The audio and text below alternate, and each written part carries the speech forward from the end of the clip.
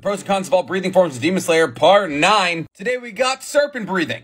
Serpent breathing is a spin out of water breathing, and its only known user is Obanai Iguro. Serpent breathing is supposed to mimic how a snake moves, specifically slithering motions. The attacks are never straightforward and usually bend or meander around so that you can be attacked from anywhere. Even Obanai's sword is slithery. It's modeled after an Indonesian kris sword, which is meant to upon impacts make wounds that are almost impossible to stitch closed. Serpent breathing has the second least techniques, with five. The most snake-like of all the techniques is the first form, Winding Serpent Slash, where the user slithers like a snake and releases multiple strikes from that slither. But the sword forms aren't really what makes serpent breathing serpent breathing. It's actually Obanai's use of his snake, Kabura Maru. Obanai can communicate telepathically with his snake, so his snake will tell him where enemies are. His only con is seeing.